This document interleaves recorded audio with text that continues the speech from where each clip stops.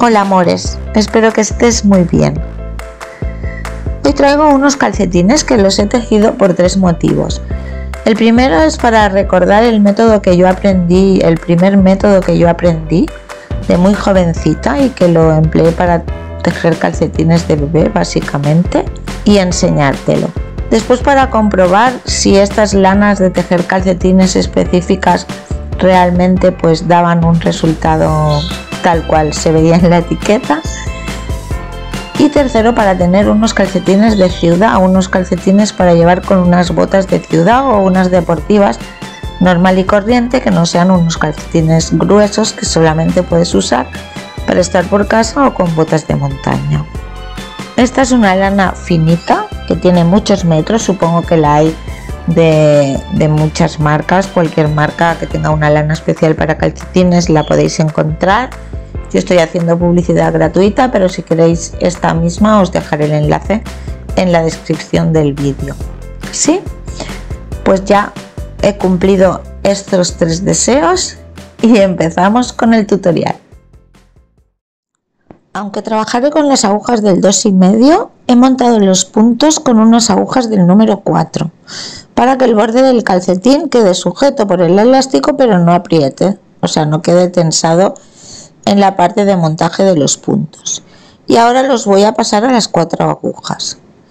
Los podemos pasar trabajando una vuelta del derecho.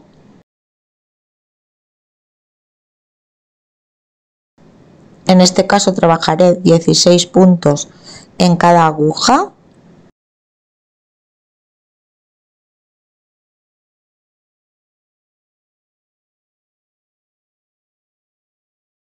Ya tengo la primera y ahora voy a pasar los, de, los 16 de la segunda.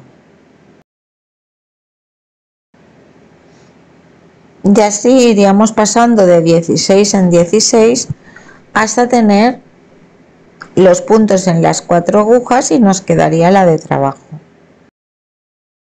O también los podemos pasar directamente sin trabajar en este caso tendríamos que ir con más cuidado en la primera vuelta porque los puntos de estas cuatro agujas quedarán un poco flojos y tendremos que ir con más cuidado de que se nos escapen, pero solo en esta vuelta. No me voy a entretener mucho en esta parte de trabajar con cinco agujas o con agujas circulares porque tenéis el vídeo de, de cómo trabajar con cinco agujas que os lo dejaré por aquí y en la descripción del vídeo. Y también tenéis el vídeo de cómo trabajar con agujas circulares, que también os lo dejaré en la descripción del vídeo y en la pantalla final.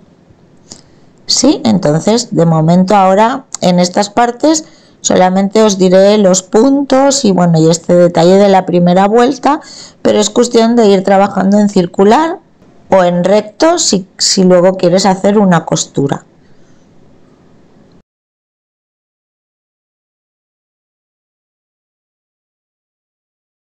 Bien, pues ya podemos cerrar el círculo. Voy a trabajar este primer punto con los dos cabos para que quede un poco más sujeto. Como vamos a trabajar en punto elástico uno y uno. Empezamos con un punto al derecho. Y ahora ya con el, el cabo del ovillo seguimos. Punto al revés y un punto al derecho.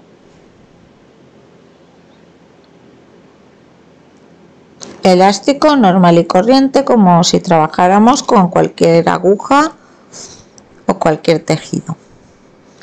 Y así vamos a ir dando vueltas y trabajando hasta tener 6 centímetros de punto elástico o los centímetros que queráis. En mi caso yo voy a hacer 6 centímetros.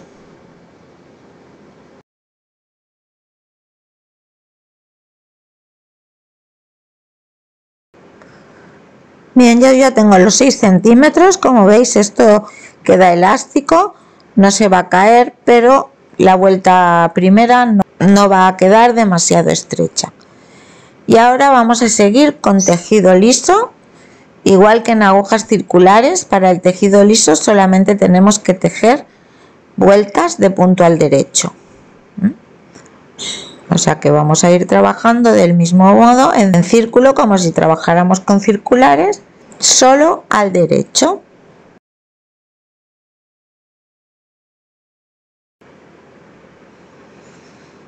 Y de este modo durante 13 centímetros. O sea que tendremos 6 centímetros de punto elástico y 13 centímetros de tejido liso. Ya está. Ahora tenemos 6 centímetros de punto elástico y 13 centímetros de tejido liso. O sea que ya hemos llegado al talón. Y ahora es tan fácil como poner el calcetín a la mitad porque solo vamos a trabajar la mitad. Yo voy a trabajar estas dos agujas de aquí, esto sería la mitad, da lo mismo que trabajemos esta parte que esta otra y podemos dejar los puntos en espera, trabajar con agujas rectas, como queráis dejar los otros puntos, pero vamos a trabajar estos 32. Vamos a trabajar con tejido liso, pero con tejido abierto, o sea que vamos a tener que hacer una vuelta al derecho y una vuelta al revés. ¿Eh? Entonces empezamos por la primera vuelta, podemos dejar también las dos agujas separadas porque igualmente nos va a quedar el tejido junto yo voy a hacer esta vuelta con dos agujas y luego ya me pasaré a una aguja sola para que veáis que se puede trabajar lo mismo. Y vamos tejiendo en punto al derecho hasta llegar al final de la vuelta. Cuando llegamos al final vamos a tejer hasta el último punto. Y el último punto lo vamos a dejar aquí en la aguja. Lo vamos a dejar en espera damos la vuelta al tejido y ahora nos toca punto revés. Pasamos el primer punto sin tejer.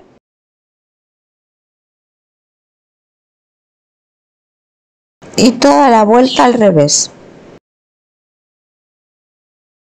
Cuando llegamos al final de la vuelta vamos a dejar otro punto sin tejer. El último lo vamos a dejar aquí en espera damos la vuelta al tejido, primer punto sin tejer y seguimos en tejido al derecho hasta el final de la vuelta.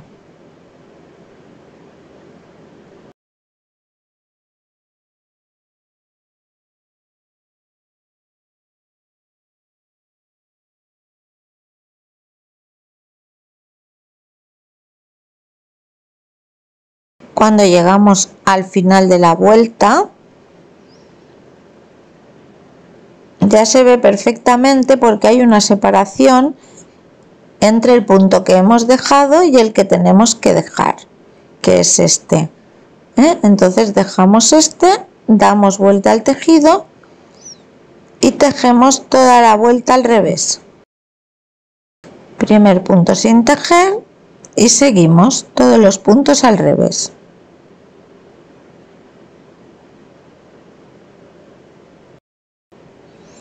Cuando llegamos al final de la vuelta, pues ya vamos a volver a ver los puntos que ya hemos dejado porque están más separados del último.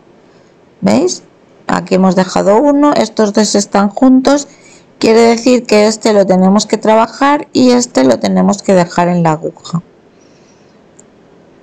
Y otra vez damos vuelta. Primero sin tejer y volvemos a trabajar la vuelta hasta el final.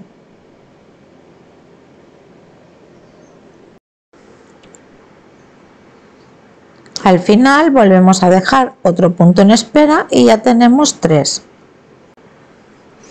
Y de esta forma dejando un punto sin tejer cada vez en cada extremo vamos a continuar hasta que nos queden 12 puntos en la aguja.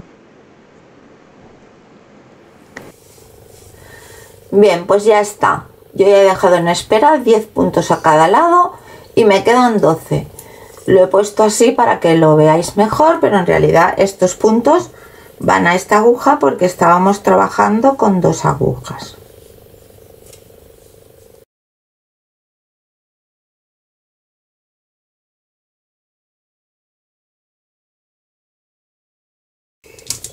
Para que no nos liemos lo vamos a hacer tal y como hemos terminado. Bien, pues ahora lo que vamos a ir haciendo es recuperando estos puntos, un punto de cada lado. Así es que seguimos.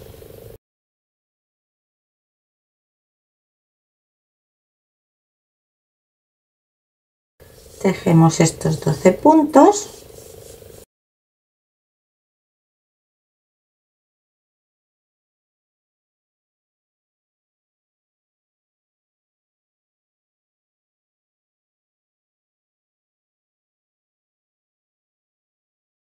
hasta aquí los 12 y cogemos este. Pero ¿qué hacemos? Como no hemos enrollado el punto ni nada, o sea, lo hemos hecho de la forma más sencilla posible. Si vosotros hacéis las vueltas acortadas de otra forma que también ya hemos visto en el canal, pues ningún problema. Pero si no es tan sencillo como coger este, esta hebra que forma aquí debajo, así, y tejer los dos puntos, la hebra y el punto. Y ya lo tenemos. Damos la vuelta y seguimos. El primero sin tejer y cuando lleguemos al primer punto que hemos dejado en espera de este lado, pues hacemos la misma operación.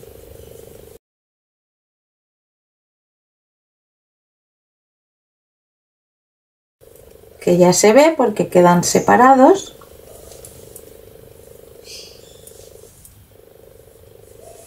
Y hacemos lo mismo. Esta hebra que está debajo del punto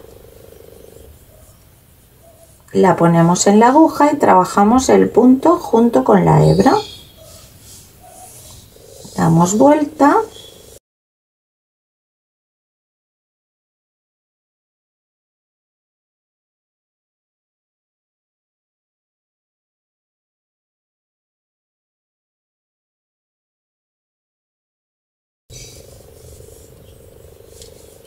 cuando llegamos al punto que está más separado que ya se ve pues subimos la hebra.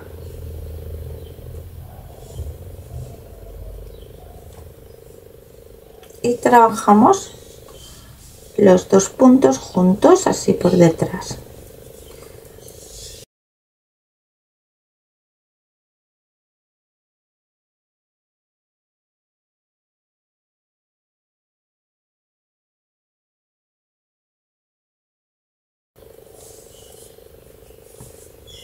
este.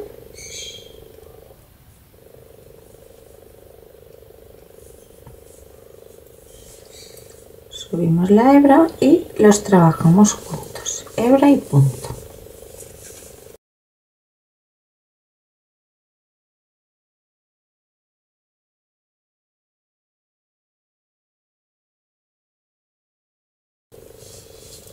Es el que recuperamos. Veis como aquí ya va quedando la forma del talón. Bueno pues así voy a recuperarlos todos hasta que vuelva a tener aquí 32 puntos que es la mitad de los puntos del calcetín.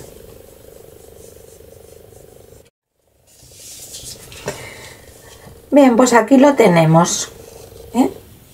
como veis así hemos formado el talón de una forma muy sencilla. De hecho esta sería su posición.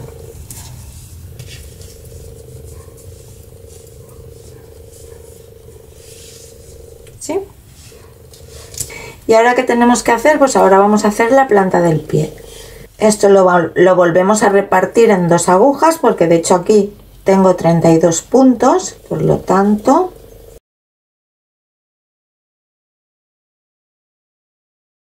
tejo 16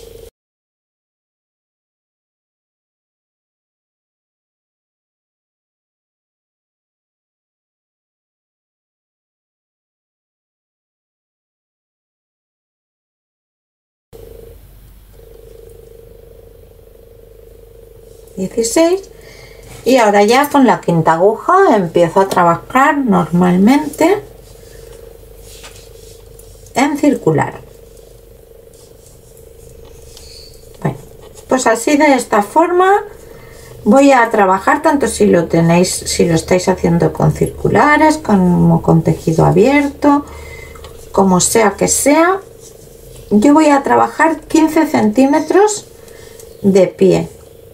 De la planta del pie. 15 centímetros rectos. Y ya podremos hacer la puntera. Así que me queda un ratito y vuelvo. Bien.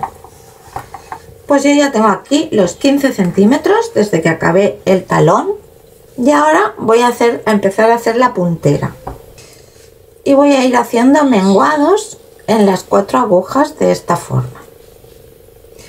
Bien, ahora me tocaría esta, esta aguja y voy a hacer un punto al derecho y dos puntos juntos cogidos por detrás.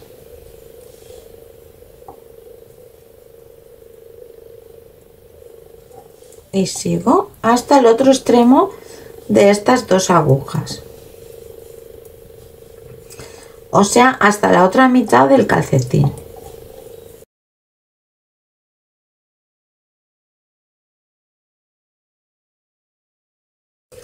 Esta la voy a tejer normal, solo es este extremo y este extremo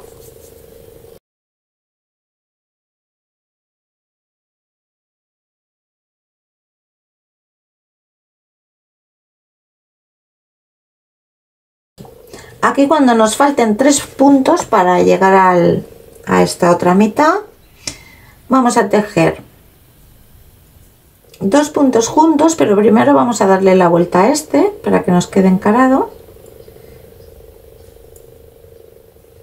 dos puntos juntos y un punto.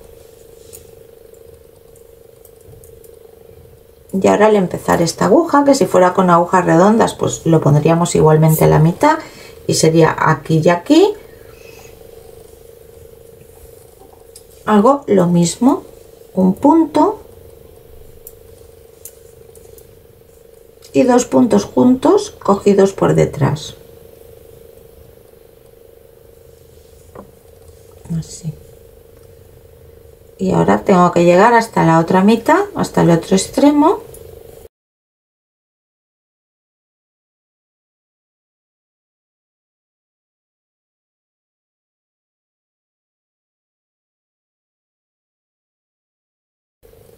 Aquí nada porque es el centro y yo lo estoy haciendo en los laterales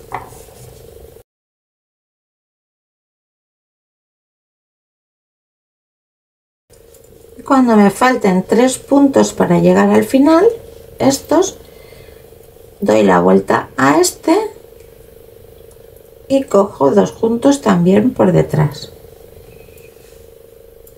Esto para que tenga una inclinación hacia la izquierda.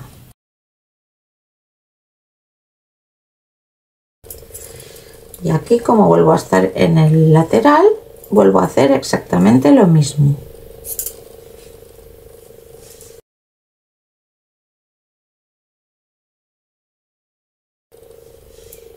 un punto y dos puntos juntos cogidos por detrás.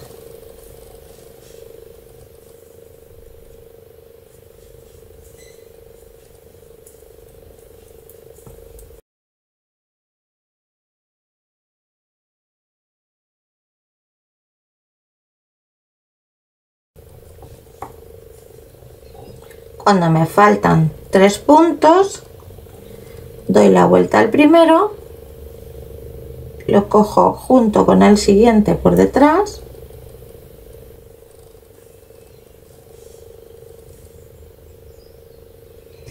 Y un punto. Bueno pues esto es lo que hay que ir haciendo hasta que nos queden 8 puntos. Aquí un punto y dos puntos juntos cogidos por detrás. Cuando llego aquí dos puntos juntos dándole la vuelta al primero y un punto.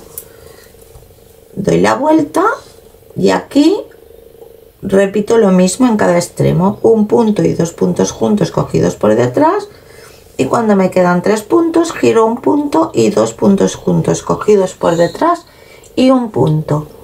Y así vamos a ir menguando la puntera hasta que nos queden 8 puntos, dos puntos en cada aguja. Si lo hiciéramos con circulares exactamente lo mismo. Esto sería un cable, tendríamos en el cable la mitad de los puntos a cada lado y en cada extremo haríamos estos menguados. Bueno, pues voy a continuar y ya lo cerramos. Pues ya está, solo quedan dos puntos en cada aguja. Podéis dejar más, ¿eh? porque a mí me ha hecho gracia hacerlos más en punta, pero la verdad es que las últimas vueltas, si lo hacéis con 5 agujas, se hacen un poco incómodas. Podéis dejar el doble 16 o más, porque ahora lo vamos a cerrar en círculo. ¿Eh? Entonces ya he cortado el hilo y lo he enhebrado en una aguja y ahora se trata pues de ponernoslas en orden para que nos sea más fácil ir cogiendo estos puntos así en circular.